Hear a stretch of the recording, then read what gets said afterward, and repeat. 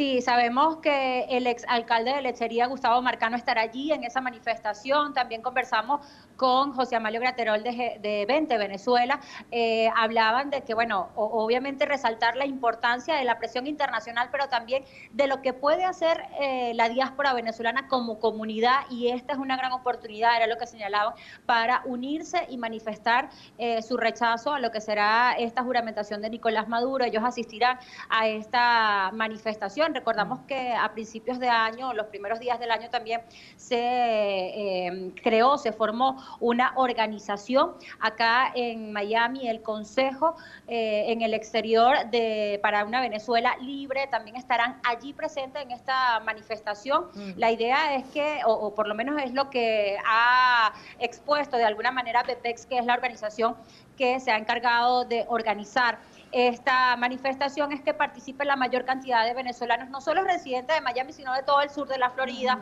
Han hecho convocatorias a ciudadanos venezolanos que puedan eh, venir de otras ciudades de acá del sur de la Florida y concentrarse allí en la sede del consulado de Miami.